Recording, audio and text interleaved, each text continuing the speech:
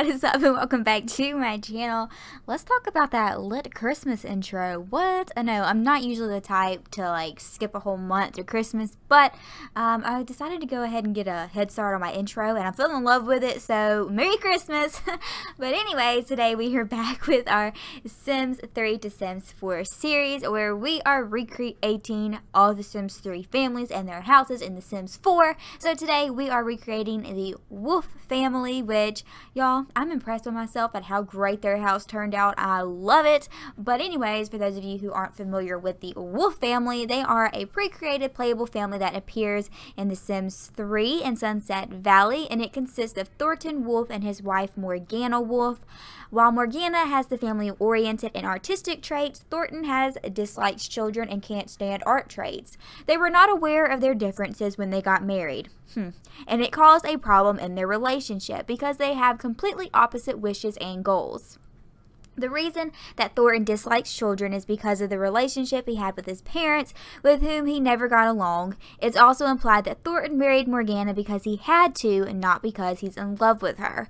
This scenario is familiar to the Crosby family and Andrews family, which we will recreate maybe one of them, I think, maybe two, one, I don't know, later. But anyways, their little description says both the arts and having children are very important to Morgana Wolff, but she has just learned that her new husband Thornton actively dislikes both.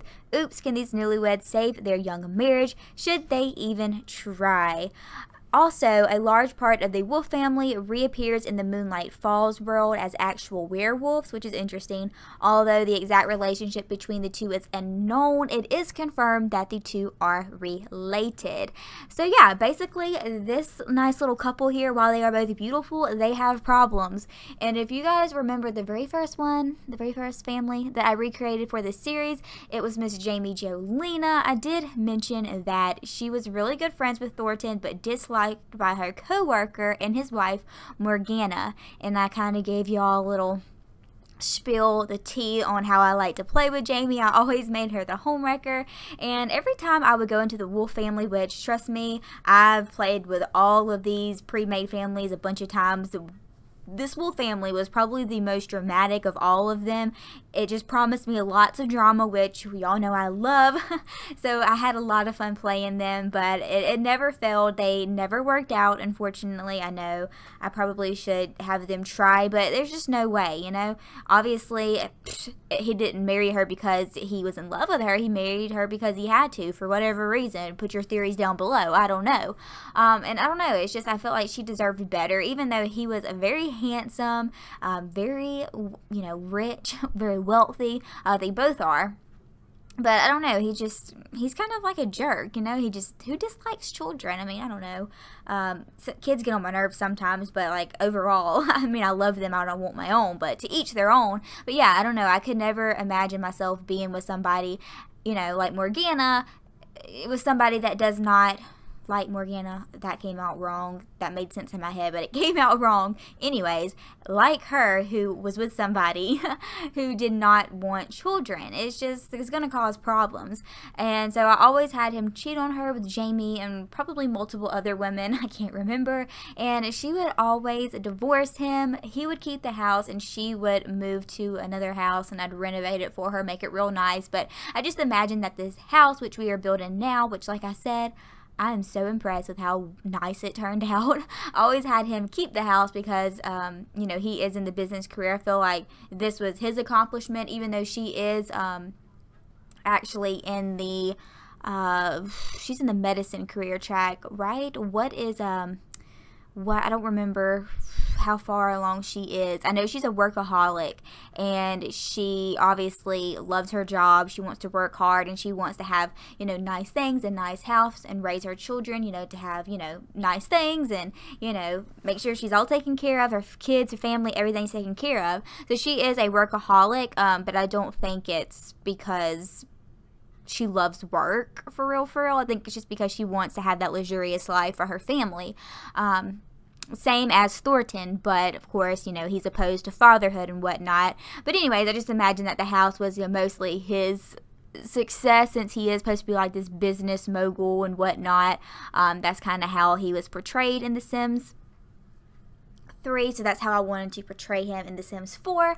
So we've already passed the little created sim, but I think they turned out really handsome and beautiful. Really handsome and beautiful. yeah, I, eh, you know, Thornton has that funky, like, beard thing that goes around on his chin strap. I don't what do you call that? A chin strap? I'm not really sure. I did not have a beard like that in the game and I could have went and you know dug around in custom content until I found something that more accurately matched his beard in The Sims 3, but I wasn't worried about it. I gave him like a 5 o'clock shadow, which made him look very professional and clean cut. Um, he is actually wearing like a business suit, but I didn't want him to look that fancy, uh, so uh, you know I kept it with like the the blue slacks and the white button up, which I think he's very handsome. I mean, who I, I have a problem, or in the past, not anymore. I'm actually with a very good guy now, but in the past, I had a problem, you know, with the bad boys, the ones you want to change. Which I don't think he's a bad boy. It's just he's he's kind of like unattainable that's the sense I get from him. It's very unattainable, and uh, you just want to be the one to tame him. and unfortunately for Gana, uh, for Morgana, geez, it's not gonna work out, or it didn't work out and you know my gameplay. You know, if you want to download them in The Sims 4 and play with them, which would be really fun. I'm honestly thinking about playing with them. All these families that I've recreated, I fall in love with their recreations, and I'm like, oh, I want to play with them in The Sims 4. Um, so I don't know. I may just, you know, I've mentioned this before, make this a save file once I finish, and y'all can, you know, hop in and play with them if you want to. That'd be fun, but anyways, if you want to download them, you know, you're free to do whatever you want to with them, but I never had it work out. They always struggle. They always had like a very bad relationship. And I don't know, I really feel for Morgana. She's a very beautiful girl. She's very successful. She's very smart. She loves art. You know, she wants to have kids. And unfortunately, um, I don't know if she knows that he married her because he had to. I'm, I'm interested to see y'all's theories or hear y'all's theories. I didn't really look into it on that, but that's really sad. I feel for her. I really, really do. Um, so I think she deserves better, but I think it definitely will be a fun, you know, family to play if you're into like drama and affairs and all of that sorts of stuff. It'd be very scandalous. But anyways, on to their house, which y'all I don't build modern houses. I've said this before. If you are new to my channel, you probably don't know this, but if you're an OG, you know that I don't build a lot of modern houses. When I do, uh, it's I feel like they don't turn out the best because I think it's because I'm not used to seeing these type of houses. I live in the south. We don't have these modern style houses, but I love them. They're just not familiar to me. So, of course, me copying this little floor plan I thought was going to be really, really hard, but it actually turned out really good, and I'm very impressed. I've said that a million times, but I'm going to keep saying it because this is like probably the best build that I've ever done, in my opinion. Um, I definitely could not have done this on my own, so I'm glad I was like copying, but but you know it is giving me skills and I'm learning for the future. But yeah it's a really funky floor plan if you ask me like you know how the, the back porch and it's it's just different. It's very different. Um, I think it turned out really nice. It's only a one bedroom house. It's got one two three three and a half baths.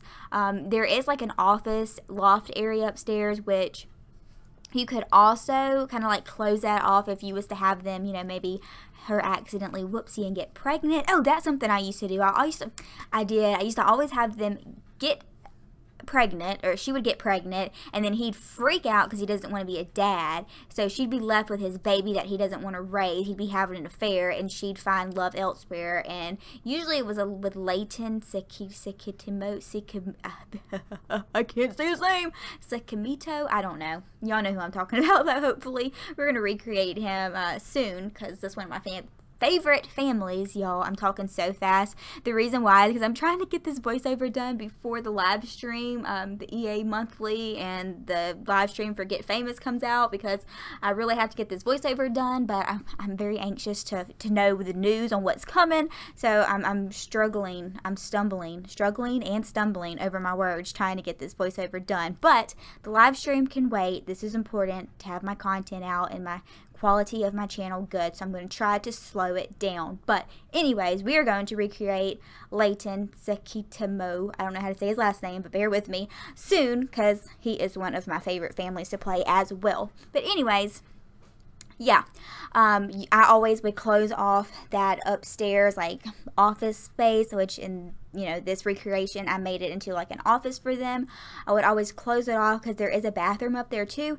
and so you can make it one bedroom you could probably squeeze two bedrooms up there if you wanted to and then downstairs um, is kind of like a gym pool house area I don't know, but it's very luxurious, very fancy. I love how um, it's like two stories high and I put the floor plan where I created the floor plan. I did that off camera because it took me a hot minute to figure out how to do that.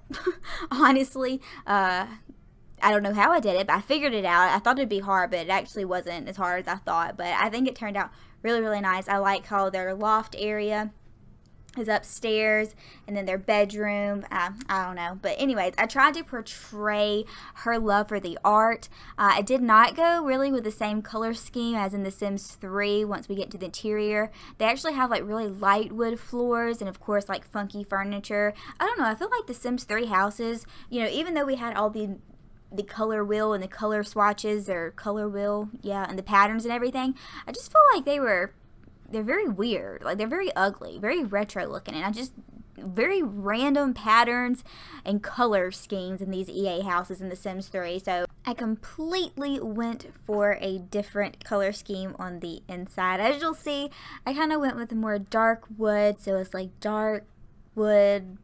Well, actually, it's like y'all will see. Oh my gosh, y'all can probably see right now. I don't know why I tried to like explain stuff and then I can't explain it good. But you know, I think it came with cats and dogs and it was like the black wood mixed with like kind of the white and the the brown wood tint. I don't know. It's one of my favorite floorings, but I don't use it often because I think it looks best in modern style houses, which, you know, I don't do many of those. But anyways, um, I gave, you know, the walls white. So it's very clean, very luxurious and artistic. But yeah, anyways, downstairs right here we have this little workout room which it was a workout room in the sims 3 as well but you know you could i mean you could make this a bedroom if you wanted to you could make this the master bedroom too probably the master bedroom since it has its own bathroom with like a really nice tub and then it's looking out onto the pool right there. I think that'd be like a nice master bedroom as well if you was interested in giving them children or you know adding on to their house and creating more rooms. But you could also make it like a little game room. I consider doing that as well. But I also figured that Thornton and Morgana would both be very healthy. You know they're very I don't, why do I, okay, I think this is like a misconception or not a misconception, but like a perception. I, I don't, I pretend like I know big words, but I don't. but I always feel like people who are wealthy are in shape. And I think that's because where I live, there's this area, um, it's called the Village of Spring Hill. And it's actually where the hospital I work at. It's in Spring Hill. Anyways, so I drive past these houses, these rich neighborhoods. It's where all the doctors, the lawyers, big business moguls, everybody in my county lives. Everybody lives in Spring Hill if you're wealthy. It's where all the rich kids live. But they just always look like they have their lives together. It's like a completely different world. They go jogging. I know, right? What? Got they go jogging, but they do. Like it's it sounds doesn't sound weird, but it is weird because they jog on the sidewalk outside and kids ride their bikes to school. You just don't do that nowadays. Not out in the country where I live with the poor folk. We don't do that because you can get snatched, you know, you can get kidnapped or something. I don't know. My mom would never let me ride my bike or go jogging by myself. But it's like it's it's its own little village. It's called the village. So I think that's why I always feel like rich people are in shape. So I decided to give them that gym that they have in The Sims 3. Um, you know, just make them real fit I gave Morgana her little yoga area over there. I put some detail into it with the little bowling balls, aka weights. So I think it turned out pretty nice, but you know, you could use your imagination and change that room into whatever you wanted to.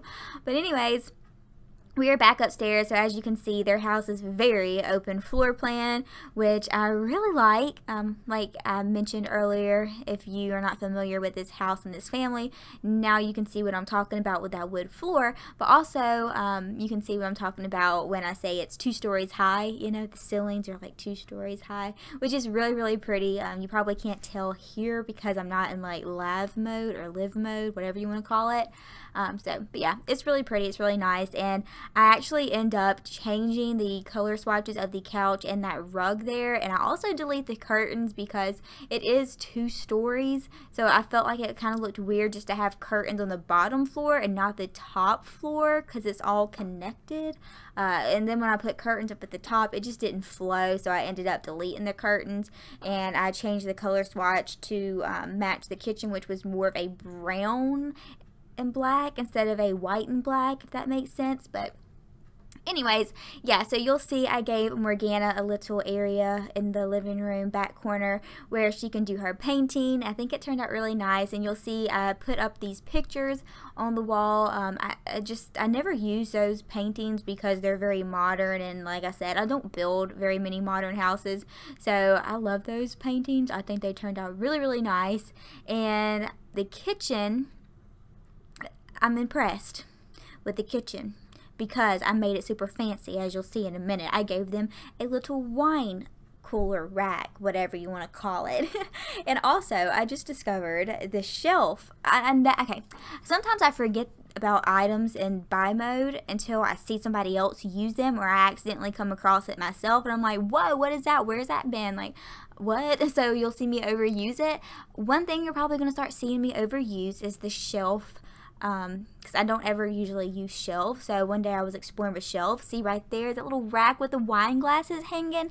That is so cute.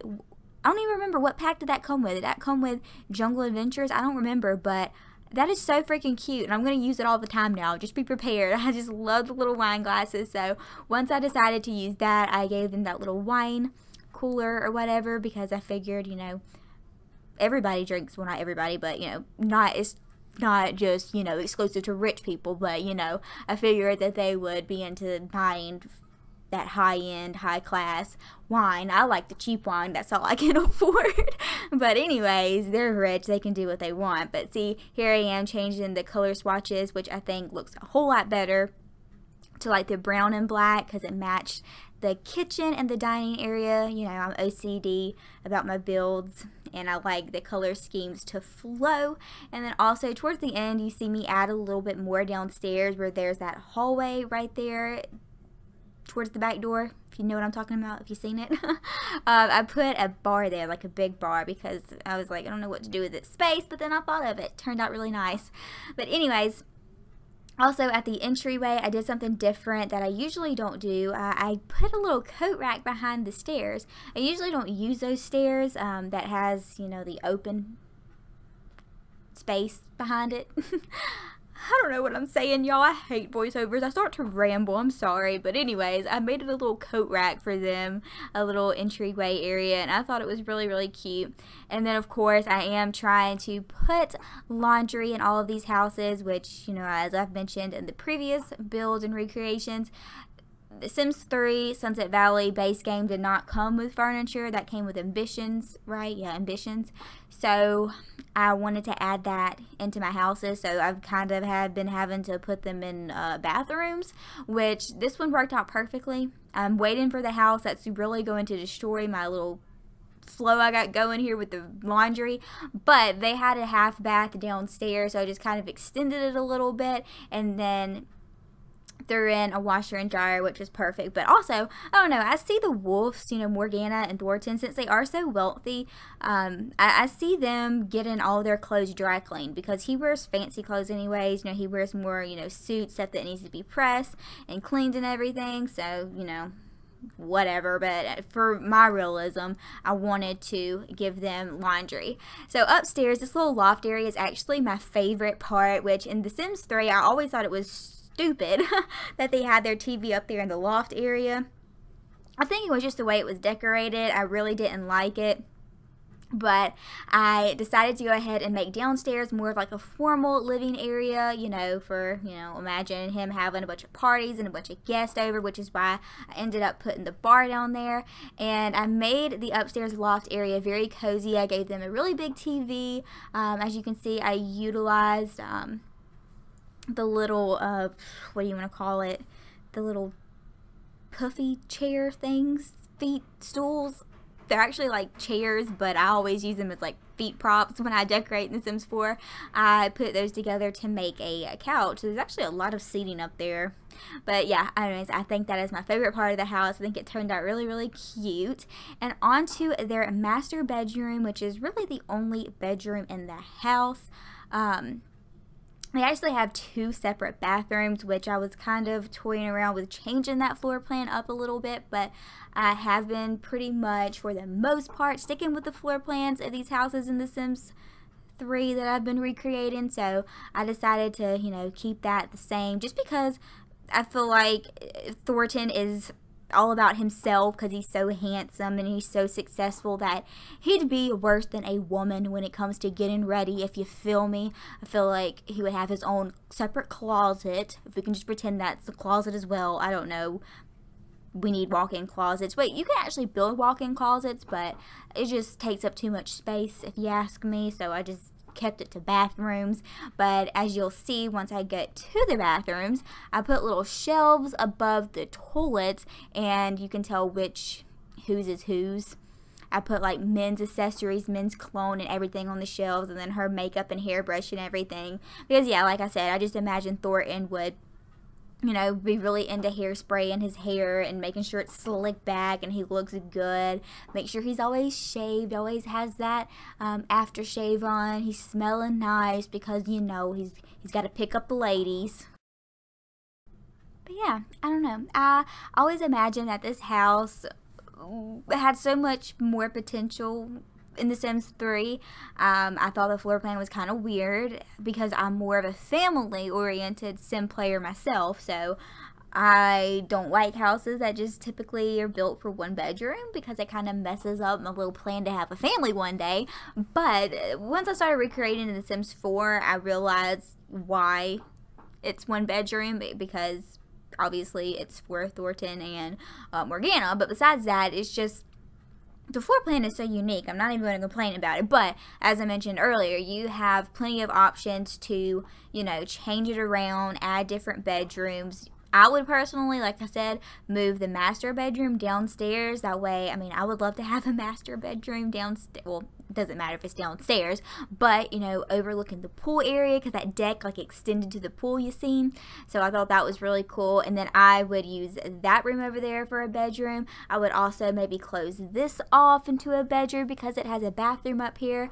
But in The Sims 3, it was their office area, so I kind of went for that same vibe. I gave them two separate desks to each their own. As you can see, it's decorated to each of their personalities. Morgana's has some like art sketches and some paintings and whatnot. And then over here for Thornton, I just gave him a desk with a computer. I gave him a bunch of, you know, files for like business where he, you know, come home and sometimes have to work from home and all of that. Gave them some bookshelves. But yeah, I don't know. I think it's a really cool house. Like I said, the floor plan is very unique. It's very different. Not something that I would usually build because I wouldn't know how. Let's be honest. Not because it's just not my type, but I just wouldn't even know where to begin. But anyways, um, y'all, that's the end of the house talk because I actually had to take a break in between uh, this voiceover. You don't know this, but I'm going to cut it out, edit it out. But in the middle of me talking, uh, I mentioned I was waiting on the live stream to talk. I had it the Twitch in the background, you know, when Windows open, and Kate started talking, just like, "Hey guys," and I was like, "Oh crap!" So I had to pause my little voiceover, and of course, I had to wait to see what this new secret feature is in The Sims that all of the Simmers that went to Sim Camp have been teasing us about. I have been dying to see what it was. I low key was hoping and praying, crossing all my fingers and toes that it was cars because I'm still not gonna forget that Sim Guru Antonio he made a garage when he showed off the terrain and the um, manipulation and the platforms and all of that. And the last um, live streamer, Maxis Monthly, yeah, it was Maxis Monthly. I'm not gonna forget here that he, oh my God, I'm getting, I'm getting tongue tied. That he built a garage. To me, that says something. I'm expecting something to do with cars, some kind of patch, some kind of update, something. I'm, I'm still freaking fingers crossed it's going to be like The Sims 2. Even if they just sit in our driveway, I'm I'm crossing my fingers that's what it is. So I thought that's what it was, but as you know, it wasn't. It's like first person view and different camera mode, which is really cool, but different. Wasn't expecting that. Not really that excited about it. But anyways, y'all, this build is finally over and I hope you guys enjoyed it. If you did, be sure to give it a big thumbs up. Let me know what family you want to see me create next. And yeah, with that being said, I will talk to y'all later. Bye.